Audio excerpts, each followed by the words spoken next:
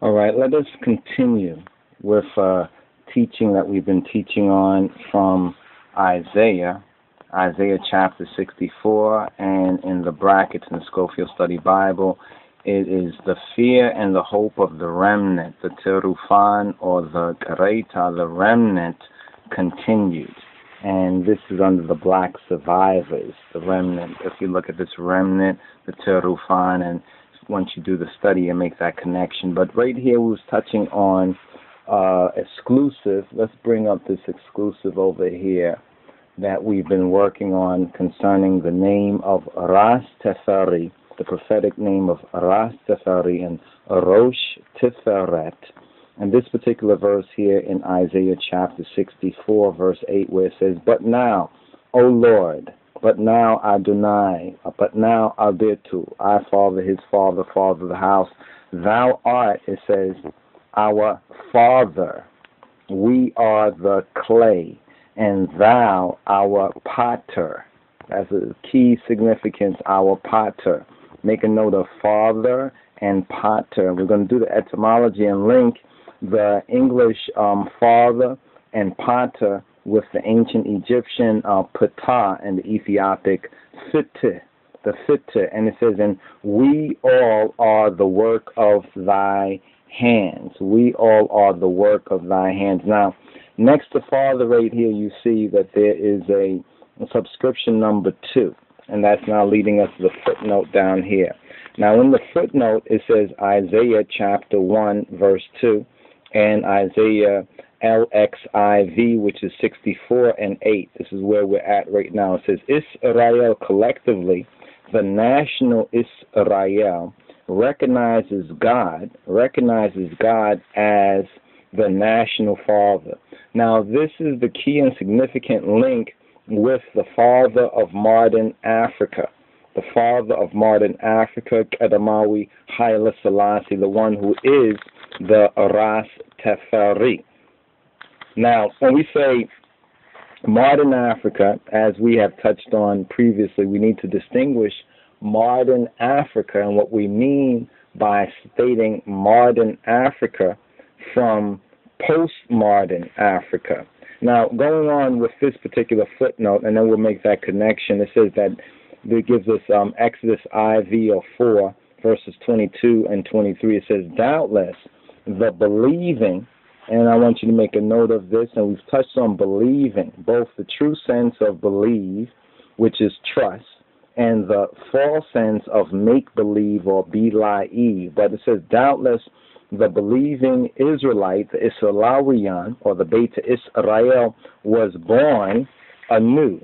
Was born anew. And now it gives us a reference to John III or John 3 and 3 and 5 along with John XIII or John or Luke, excuse me, Luke XIII, which is Luke chapter 13, verse 28. But it says that the Old Testament of the Old T scriptures show, it says, no trace of the consciousness of personal sonship. That in the New Testament, the Scofield um, Reference Bible says it shows no trace. We will amend this and say it shows um, a little active trace, a little active, there's no trace of an active consciousness of personal sonship.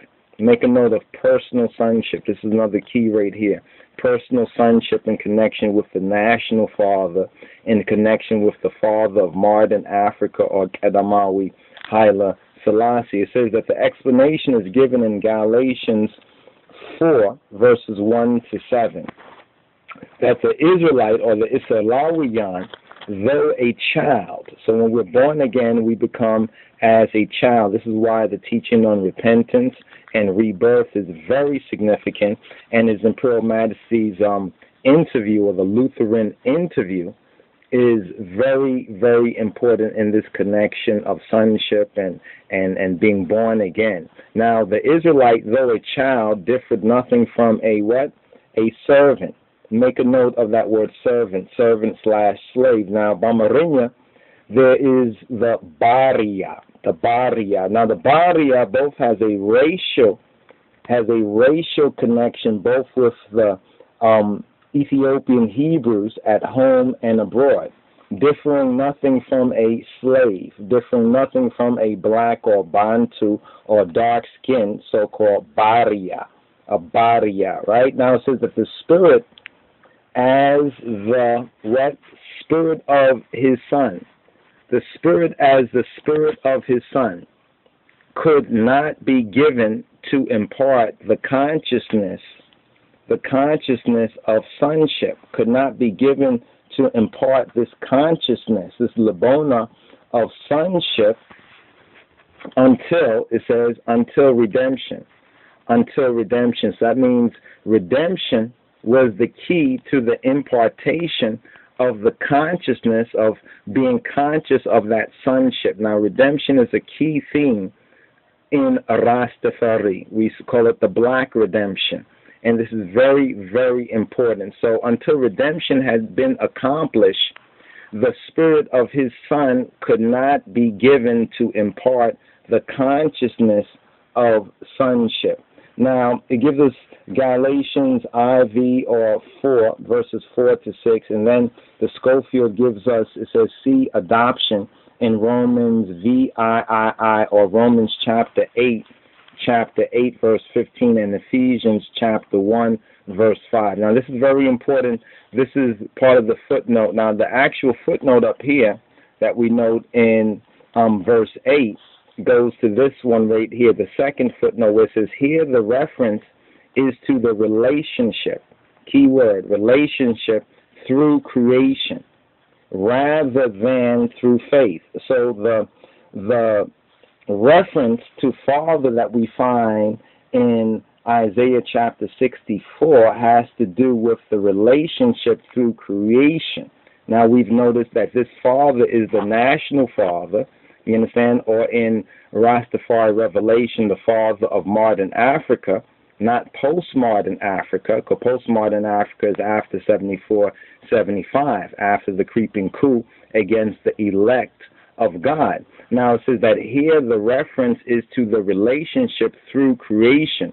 The creation of what? The creation of the OAU, the creation of the Organization of African Unity, the creation of modern Ethiopia, of modern Africa, rather than through faith. Now, why is this significant? This is significant because Haile Selassie is recognized as the father of modern Africa by most Africans of the time and by many Africans who know the truth even today, but it's not through the the spirit, you understand? But it's through creation. You understand? It's through creation and creation of this modern Africa. Now, it says, as in Acts XVII, which is Acts um, uh, 17, verses 28 to 29, and there's a note there. But let's return to the first footnote where it says Isaiah 1 and 2. Isaiah 1 and 2, and let's make this Ethiopian connection with the father of modern Africa. Now, when we go to Isaiah chapter um, 1 and 2, this is what's called rightly dividing the word of truth. Isaiah 1 and 2, it reads this it says, Hear, O heavens, and give ear, O earth, for the Lord Yahweh hath spoken. I have nourished and brought up children, and they have rebelled against me. The ox knoweth his owner, and the ass his master's crib, but Israel doth not know is ignorant. Israel is ignorant. The only people who are ignorant, who don't know their their true name are niggers, are this body, are the slave servants. They don't know their name. It says, My people, God is saying, My people doth not consider. Now we have a connection with both the Ethiopians at home in the renewed kingdom of David, Ethiopia, as well as the Ethiopian Hebrews or the Israelites abroad in the captivity in these verses right here. But this is also a link to this fatherhood. In the very first chapters, you understand, of the prophet Isaiah. You understand, where Yahweh's case is against who? Is against Judah. Now, prophetically, we know that Judah is the so called, in this prophetic time, the African so called American. Now, hear, O heaven, give ear, O earth. This means that there is a cosmic or an, an, an astronomical, you understand, an astronomical as well as an earthly significance. And make note of that this present time, 2011 and 2012, even the storm that they say is coming on us might be exceptionally um, furious because of an alignment of the high tides. So we have to understand the, the heavens, you understand, and the heavens' relation to the earth and the original um, um, computation of time that we have in the beginning, where it says that the sun and the moon and the stars, you understand, are for signs and seasons and days and years. You understand? For Yahweh, Yod He, have spoken, he has nourished and brought up children, just like his imperial majesty has nourished and brought up children, and they have rebelled against me. So we're seeing both the Old Testament with the Old Testament Beta Israel, who the diasporas link to this, and with the New Testament Ethiopians and the Ethiopian Hebrews. The ox knoweth his owner, the ox, which is a, another um, symbol that is used, another mythological symbol of the ox, knoweth his owner. The ass, the ass is also another symbol that is used straight out of Egypt. The ass knoweth his master's crib. In other words, the so-called dumb animals, the animals that don't speak, that don't understand language as we do, they know their owner, they know their master's crib, but Israel, God's son, remember Israel is God's son, doth not consider my people, doth not consider, my people don't know. My people doth not consider. Israel doth, doth not know. Israel is ignorant. You understand? They are ignorant. They do not know. They do not consider. Then it says in verse 4, it says, Ah, sinful nation, a people laden with iniquity, with rebellion, with sin, chatiyat, a seed or a race of evildoers, children that are corrupters. They have forsaken Yod He Waw He. They have provoked the Holy One of Israel to anger. They are gone away backwards. See, in Rastafari, we say forward ever, backward never.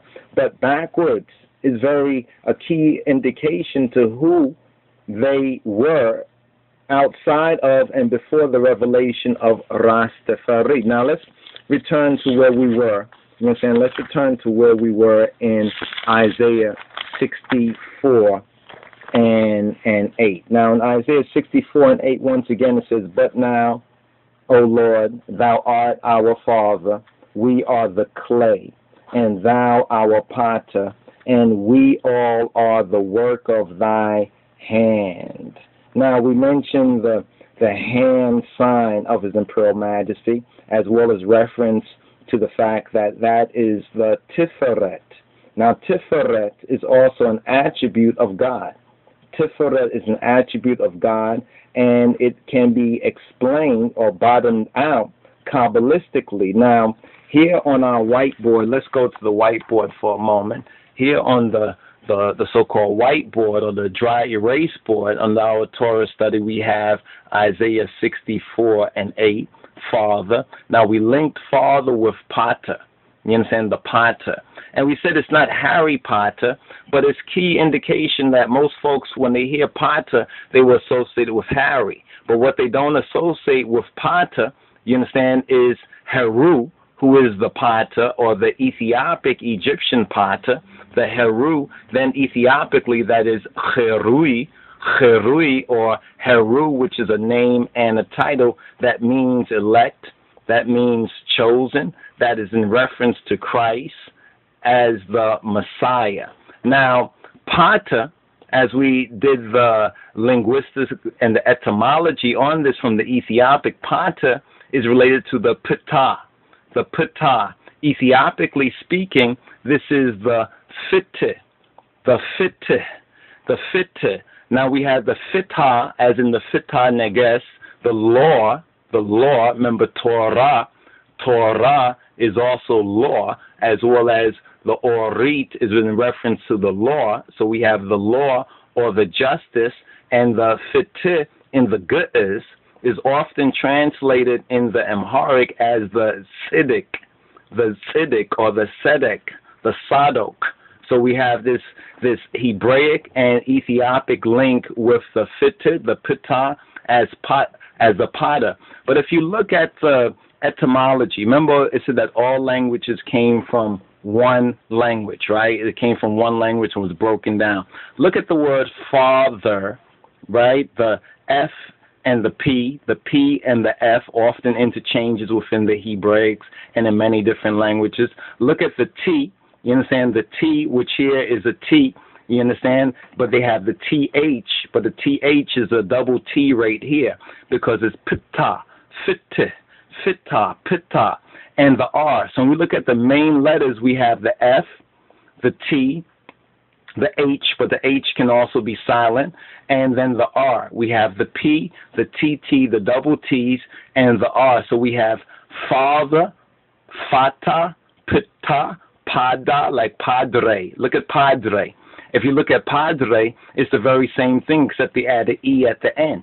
You know what I'm saying? So we have the connection now with the pata and the pitta, the fitte, you understand, and the Harry, you understand, the Harry with the cherui or the cheru, the cheru, the cherui, which means the elect or the chosen. So we have Heru, the Pata, or the Pata, who is the Cherui. But what is significant about the Pata?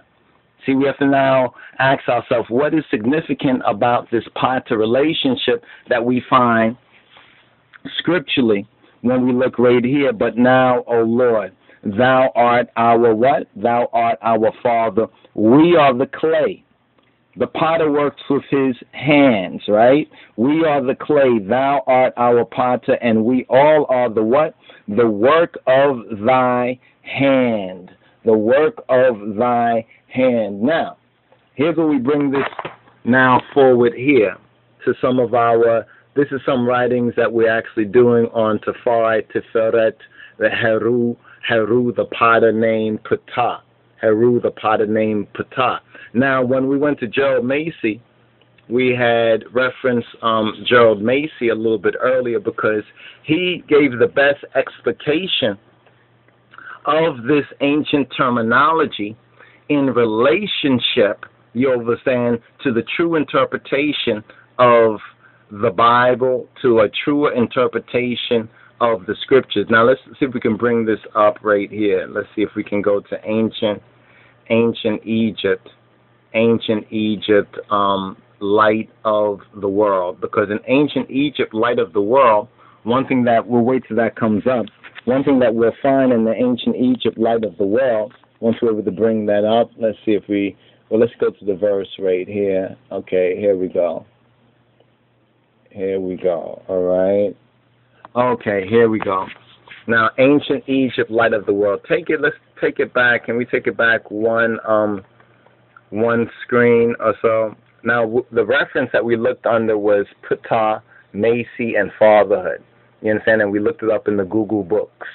You understand? Looked up in some of the Google books, some of the online books. Some of these books actually, if you look over here, they may give you a download option. Here, it doesn't give you a download option for this particular book, but some of the other books give you a download option. Now, in this particular section on page 345, page 345, is speaking of in an inscription at Edfu, at Edfu, Edfu, they are called the most great of the first time, the August who was earlier than the gods, children of Ptah, children, remember the children link here in Isaiah, who issued forth from him, engendered to take the north and the south, to what? Create.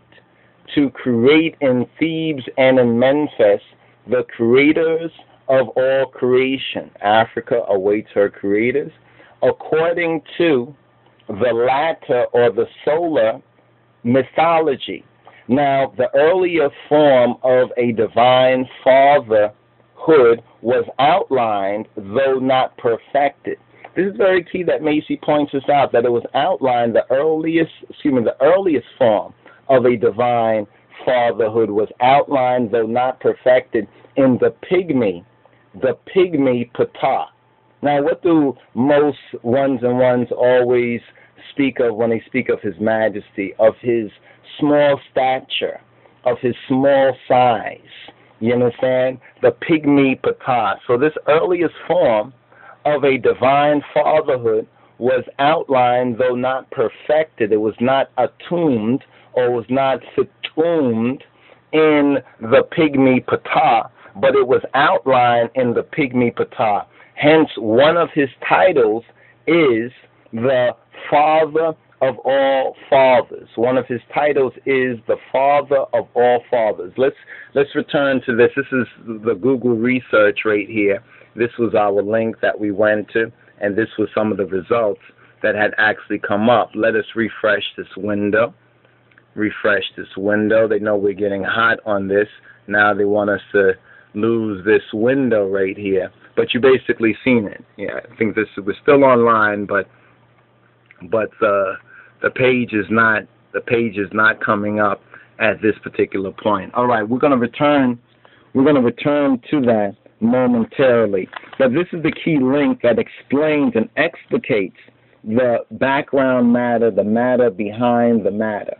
Now, why is it important for us to go there? It's very important for us to go there because this idea of the consciousness of personal sonship, this idea of God being our national father, the father of our nation, you understand, is also um, shadowed.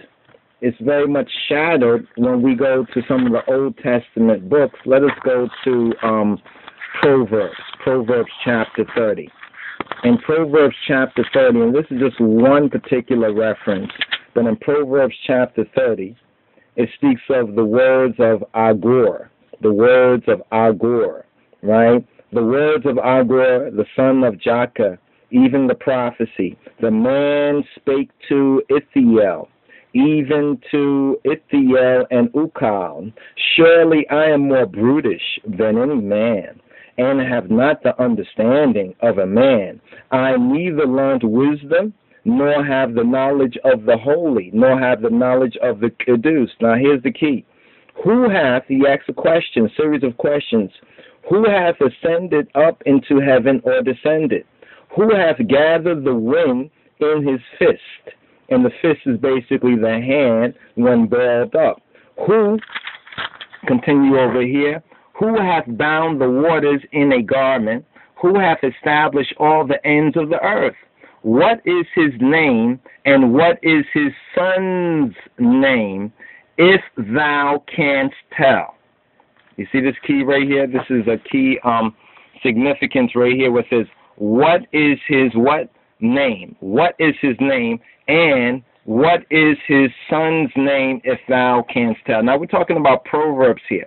We're talking about Old Testament here, not not just New Testament. So this idea that um, so-called Christianity with its Jesus Christ or Yeshua HaMoshiach is a new thing because there are some who prefer to say, well, they want to deal with the Old Testament. They cannot really grasp certain Old Testament, I mean New Testament ideas, and they feel it's false, such as the Father and the Sonhood. You understand? Right here in the New, T- and this is one area. You understand? This is just one particular area. We can also turn you understand? If we will, we can also turn to the to the to the to the Psalms. You understand the Psalms. But let's get this next verse. This next verse says that every word of God is pure. He is a shield to them that put their trust in him. Now you see next to trust? What do you see next to trust? There's a there's a subscription D, right? The subscription D next to trust, right? And when we go to the marginal reference, the marginal reference for D it says Psalm 2 and 12. Go in close. Can you see that? Psalm 2 and 12. And it says note. So let's go to Psalm 2 and 12. This is what you call rightly dividing the word of truth. You understand? Rightly explaining the scripture 2 and 12. Let's go to Psalm 2, chapter 2, or Psalm 2 and 12. So here we had we had Psalm two, and Psalm two speaks of it's a psalm of the king, first rejected, secondly established, thirdly reigning over what? The nations, reigning over the nations. Now this is a prophetic psalm of Rastafari, and in verse um, 12 it says, "Kiss the Son, lest he be angry." and ye you all perish from the way when his wrath is kindled but a little. Blessed are all they that put their what? Their trust. You see trust? Next to trust there is a subscription too. So now let's go down to the footnote down here and see what trust says. What it says for trust. It says that trust is the characteristic OT or Old Testament word for the NT or the New Testament faith and you see belief. Belief in its true sense of trust and its true sense of faith, not the make believe or the be lie Eve, but the true sense. Now the word is really the Amen or Amen or Mammon. You understand? Amen, Mammon, Amen. Now it occurs it occurs 152 times in the OT or the Old Testament and is the rendering of Hebrew words that signify to take refuge, as in Ruth I, I, and 12, or Ruth 2 and 12, to lean on, as in Psalm LVI, or as in Psalm 56, or actually 50, yeah, 56 and 3, and means to roll on, as in Psalm XXII or Psalm 22 and 8, and it also means to stay upon, as in Job 35 or XXV and 14.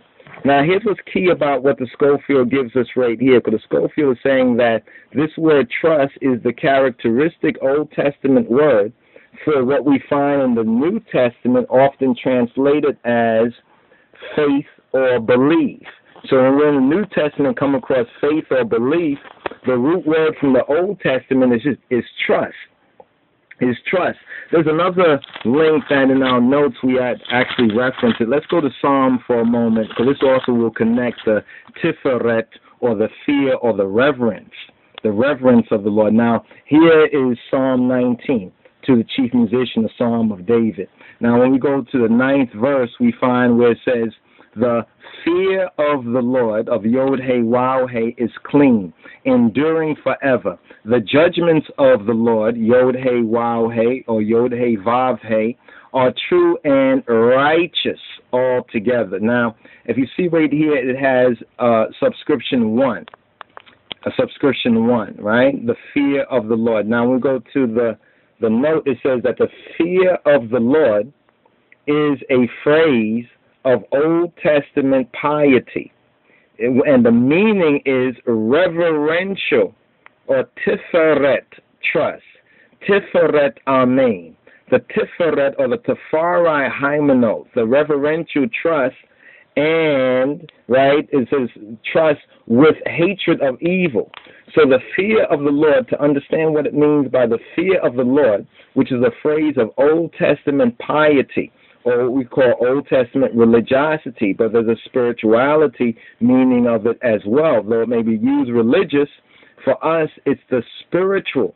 You understand that is important. And the meaning is a reverential trust. See that word trust again?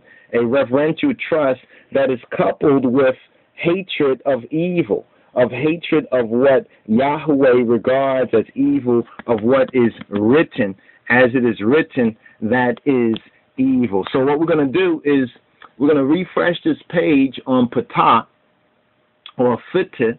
You saying It's very important for us to just show you that aspect, and it seems as though this part is not is not coming up in our our particular or peculiar search at this moment. It's coming up blank. But what we will do is we'll pause for the cause and we'll try to bring it to you, bring it to you otherwise. Once again, we want to just refer to what we have up here because this is a very important teaching. We're speaking of the fatherhood. You know what I'm saying? And His Majesty is the father of modern Africa, but not the father of post-modern Africa, but the father of modern Africa linked with the pygmy Ptah.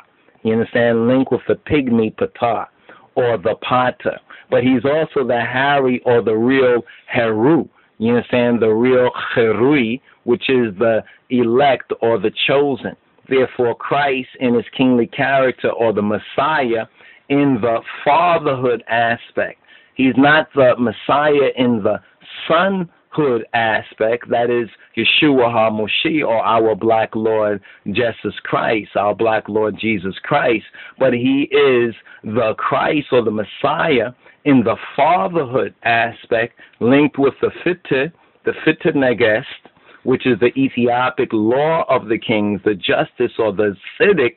And since he is king, and this we need to put up there and note this as well, since he is king, eh, he's not just linked with the Siddiq, even though we find the word Ptah or Fitte from the Ge'ez. Fitte, when it's in the Ge'ez, when it is translated as justice, but also in the sense of law in the Amharic, when the areas that have fitta is translated, they usually use Siddiq. You understand Siddiq or Sadiq or or perhaps Sadek as in the Malakat Sadek. But here, you understand, we have Melka. You understand? Or let's let's do this like this. Melka, which is M E L K E, which means the king of, or actually in the older, the image of righteousness. He is the king of, or the image of, the template of righteousness. So we have a full link with various attributes of Christ in his kingly character, of Kedemawi Haile Selassie or Rastafari in Revelation, all based on this one area of Scripture, Isaiah 64 and 8, which is very, very significant as we link our Father, the National Father, the Pater, you understand, the chosen, the elect, and all of the rest. So stay tuned for the next part of this. Shalom, Ras Teferi.